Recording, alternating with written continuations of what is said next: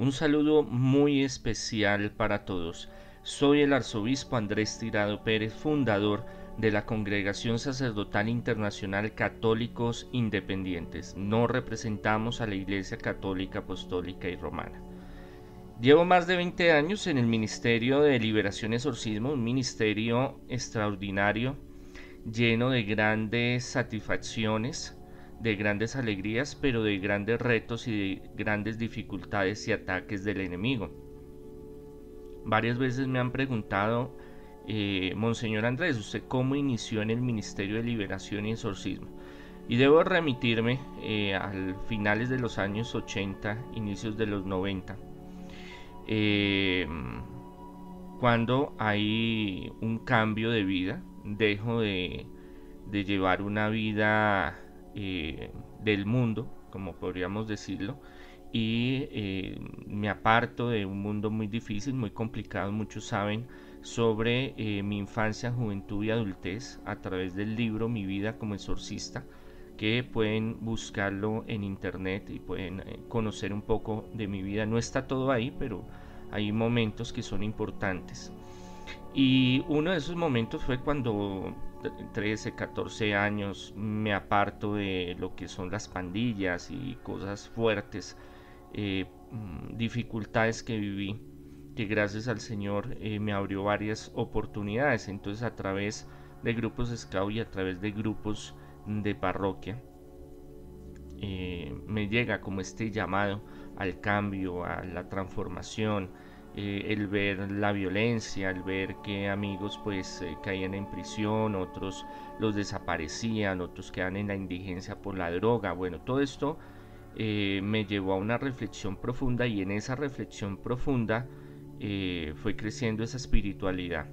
Siempre creí en Dios, pero no era una espiritualidad muy afianzada ni era una persona muy espiritual. No me gustaban las misas, no me gustaban los curas, no me gustaba nada que tuviera que ver con iglesia. Creía en, a un Dios a mi manera, por muchos resentimientos sociales, familiares, personales.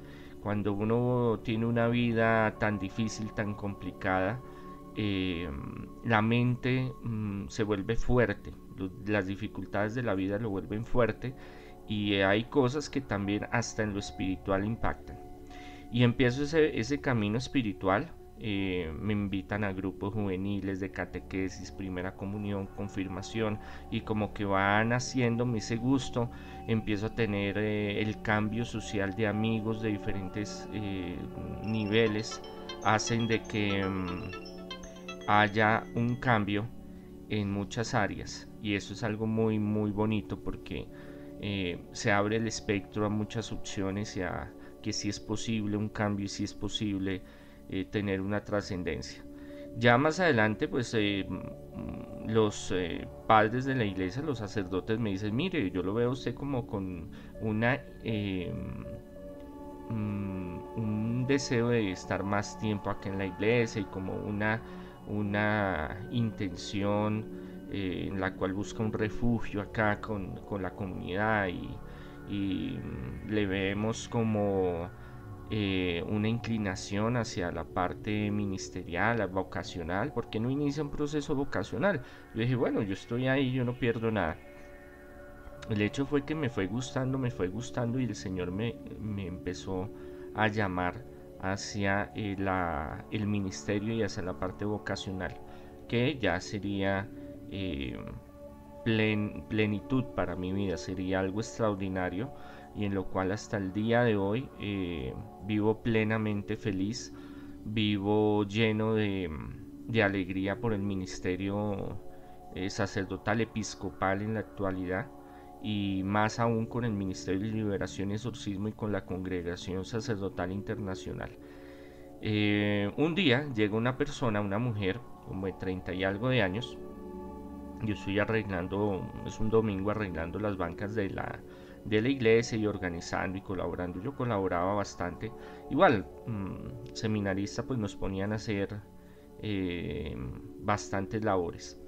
Y llega esta persona y me dice, padre, yo quiero que usted me haga una oración. Yo le digo, yo no soy padre, yo soy un seminarista. Dijo, no, no importa, eh, hágame una oración, por favor. Yo le dije, ¿cómo así que una oración? No, pues puede decirle al Padre que le haga la oración y la bendiga.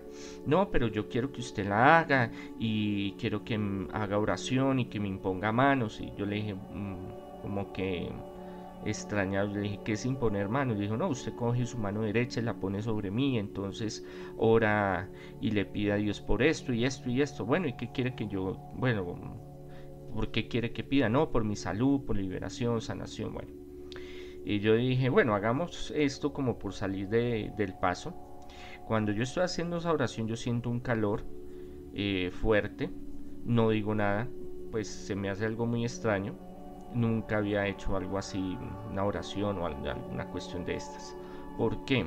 Porque nos debemos remitir a que la formación que sea en seminarios y en universidades una, es una formación de una línea que es teología científico-crítica, la cual me gusta muchísimo y fui uno de los abanderados en su tiempo, en el tiempo que estuve estudiando, pero que todos los fenómenos paranormales, místicos, espirituales, son subjetivos, que los milagros de Jesús no fueron milagros de Jesús, que si Jesús caminó sobre las aguas, el lago el mar de Galilea, no fue porque caminara por el sobre el agua, sino fue un haz de luz, una proyección, puede ser psicológica, una proyección visual, eh, un holograma que la gente vio y dijo, no, pues sí, que es un berraco porque camina sobre las aguas, que mm, la sanación del ciego no era porque era Jesús que lo sanara, tuviera el poder, sino que el poder de la mente es tan grande, y en sí lo es, porque yo también estudié parapsicología aplicada en Argentina, sugestionó al ciego y esa grabación, esa programación en su inconsciente hizo que sus propias células se regeneraran a ellas mismas y se diera el proceso de sanación. Entonces no fue Jesús que lo sanó, sino fue una, sugestión que él, eh, este ciego, algo que llaman mucho el efecto placebo, realizó en su mente y logró eh, la visión, restaurar la visión que la multiplicación de los peces, de los panes, de el vino, fue porque cada uno lleva su pan, su, su, pescado, su botellita de vino por ahí guardada. Dijeron, bueno, vamos a salir y la sacaron por ahí, la tenían guardada, encaletada y compartamos. Siendo que hay hallazgos arqueológicos eh, que en los últimos años han surgido, han aparecido, donde hay pruebas muy sólidas de que los milagros realizó Jesús fueron multi, multinivel, si lo podemos llamar así, de muchísima gente, donde trascendió con el tiempo. Fue tan impactante en muchas regiones que él hizo estos milagros que trascendió a través de los siglos y en los lugares quedaron como marcados como eh, sitios especiales de peregrinación y de hallazgos arqueológicos. Que el poseído no era poseído, sino que sufría una esquizofrenia y eh, se sugestionó al ver a Jesús y con eso pues se manifestó una doble personalidad, pero que al eh, es, eh, estirpar, sacar, manifestar esa doble personalidad, psicológicamente recibía una sanación y esa esquizofrenia o ese problema psicológico mental desaparecía cosas que eh, respeto mucho. Yo soy un hombre de fe y un hombre de ciencia, hombre de ciencia y hombre de fe, y que descarto todos los parámetros científicos, biológicos, psicológicos, psiquiátricos, eh, científicos antes de darle una razón o una respuesta espiritual, mística o paranormal. Pero hay otra teología que es la teología carismática, o teología vivencial en la cual em, conocí a través de este, este milagro, porque fue un milagro, un hecho patente del poder de Dios, em, porque fue corroborado médicamente. Entonces esta persona llega, me pide esta oración, se va a los dos, tres días más o menos eh, no recuerdo bien, llega con un cartapacio lleno de exámenes. Yo le me, con alegría me decía, ay, me sané, usted me sanó, mire que es que esto, y yo, como así? que qué pasó? Nada, nada de, de pensar por mi mente del, que la existencia del demonio, la existencia de la sanación, de la eh, eran cosas que yo no le ponía cuidado porque me centraba en la teología científico-crítica, en la cual ya les expliqué. Empiezo a ver esos cartapacios, a mirar esos, esos eh, exámenes, yo creo, pues yo me hacía el que sabía, pero yo no entendía un carajo, eran números y eran palabras y eran resultados y que no entendía. Yo pasaba, ah, no, muy bueno, yo, yo le decía, ah, no, tan chévere, no, tan bueno, bueno, ¿y qué fue lo que se sanó? Como por, por saber, porque tenía esa incógnita, me dice, no, es que a mí me tenían que sacar la matriz, estaba llena de miomas y eso era terrible, me ponía muy mal y me iban a, hacer la cirugía y me sacan la matriz y yo quería tener hijos y no sé qué.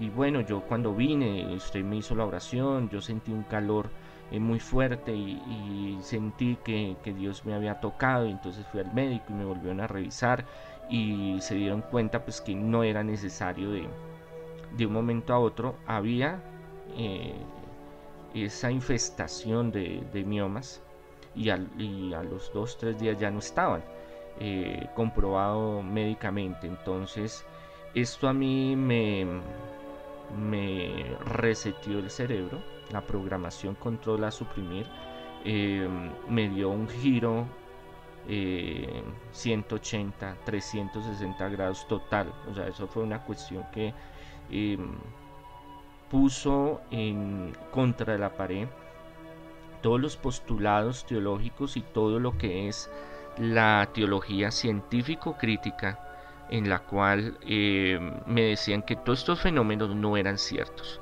Entonces en mí quedó un vacío de, interrogantes, de decir cómo es esta cuestión, cómo funciona, por qué es. Y me dejó muy, muy eh, consternado y empecé a buscar todo el conocimiento que se pudiera al respecto de la sanación. ella empezó a pasar la voz, eso se, esparció como en chisme en pueblo pequeño y mucha gente empezaba a venir, varias personas. Entonces me decía, mire, yo necesito una oración por tal cosa, yo necesito una oración por tal otra. Eso hizo de que llegara en un momento a incomodar a mis superiores. Unos no les interesaba mucho, otros como que empezaban a ver la cosa como raronga, porque este ministerio en la Iglesia Católica Apostólica Romana es muy cuestionado, aunque hay exorcistas y el Papa Francisco apoya la Asociación Internacional de Exorcistas. El Papa Francisco cree en el demonio no como mito, ni filosofía, ni desde el ámbito antropológico, ni sociológico, ni histórico, ni mm, teológico, sino realmente eh, que es un ser que eh, está al acecho para destruirnos. Como el magisterio de la iglesia, la tradición de la iglesia, Jesucristo, los apóstoles eh, lo remiten y no lo enseñan y lo practican, porque Jesús llega a ser uno de los más grandes exorcistas de todos los tiempos. Mm, esto hace que empiece a llegar muchos casos de personas que tienen cosas raras, patologías espirituales o patologías demoníacas, llamo yo, donde eh, en una de esas oraciones se eh, manifiesta una doble personalidad, se manifiesta una entidad en una persona. En ese momento yo no conocía del Ministerio de Liberación, para mí eso era muy novedoso eh, y me causa una gran, un gran desconcierto porque no sé si la persona dijo, uy, madre, esta persona está enloquecida o se puso violenta, se puso agresiva. Y algo instintivo eh, fue preguntarle, no sé, fue, eso fue cuestión del Espíritu Santo, preguntarle cómo se llama. No sé, me, no, no entiendo hasta el día de hoy por qué se dio esa circunstancia, pero ahorita lo analizo y mm, lo remito al Espíritu Santo. Le digo, ¿cómo se llama? Porque se puso violento, agresivo, cambió el tono, eh, se volvió una voz eh, gutural, se volvió una voz agresiva. Y eh, no le voy a decir, me contesta. ¿Cómo se llama? no le voy a decir. ¿Cómo se llama? No. Entonces, mm, en ese momento em, me, sentí el instinto espiritual, es algo que el Espíritu Santo desarrolla hacer otra oración. Y cuando empecé a hacer otra oración, creo que fue el credo, no me acuerdo bien, porque eso hace muchos años, empezó a revolcarse, empezó a, moverse, empezó a desesperarse y no, y no, y no, y no voy a salir y tengo que destruir y un poco de vainas que yo dije, ¿cómo así? Entonces yo seguí preguntando, ¿cómo se llama? Hasta que me dijo su nombre. Cuando me dice el nombre, nombre masculino y la persona que estaba ahí era femenina, pues la cosa a mí me, me hizo eh, realmente replantearme muchas cosas, pero no me apartaba de que fuera una patología psicológica o psiquiátrica. Empezamos a, me lo empezaron a traer, la persona empezó a mejorarse. De todas maneras, eh, cuando se hacía oración entraba en un estado muy fuerte. Es más, ya me invitaban a la casa a ir a orar porque pues en la iglesia ese espectáculo no era muy bien visto. Y eh, empecé a investigar sobre liberación. Entonces, algunas cositas. El, primero que, llegó a mis manos fue eh, el padre Gabriele Amort que es uno de los más famosos exorcistas y sus libros. Eh, habla un exorcista y en fin, entonces empiezo a recopilar algunas cosas y digo, bueno, voy a ensayar a ver qué sucede. Y empiezo a ensayar y a mm, preguntar, empezar a hacer lo que se llamamos los exorcistas un interrogatorio. Cuando esa persona, bueno, cuando ese ser dentro de él, eh, de esa mujer empieza a decir, no, yo no me puedo ir, entonces yo ahí empieza como el contrapunteo, ¿por qué no se puede ir? No, porque es que a mí me mandaron. Yo le digo, ¿cómo así? ¿Quién lo mandó? No puedo decir, dígame quién lo mandó. Fulano de tal. ¿Y para qué? No, para destruirla, para que destruyera en la pobreza, en la enfermedad, en la miseria. Y en realidad la, muchacha, era una muchacha, estaba muy enferma. Ya la habían llevado. Eso es por eso que me la, me la traen a mí. Porque alguien le dijo a alguien de alguien a alguien y le dijo, mire, pues vaya que le haga una oración y pues han dicho que hay, hay sanaciones empezando de que Dios es el que sana, no aclaro. Y junta médica le habían hecho todos los exámenes, especialistas, y no entendían por qué esta mujer, esta muchacha, sin antecedentes genéticos, en su genoma no había problemas de hueso, había otros problemas en la familia, pero de huesos no, una artritis severa, degenerativa porque la tenía postrada casi en silla de ruedas teniendo 20 punta de años y era deportista y era una mujer eh, sana y bueno en fin y en la casa no habían esos antecedentes em, cuando empezamos a hacer ese interrogatorio y para hacerse las más corta a todos ustedes que ese espíritu esa entidad que estaba dentro de, de esta mujer lo habían enviado con el propósito de enfermarla, secarla y que Mm, sufriera terriblemente.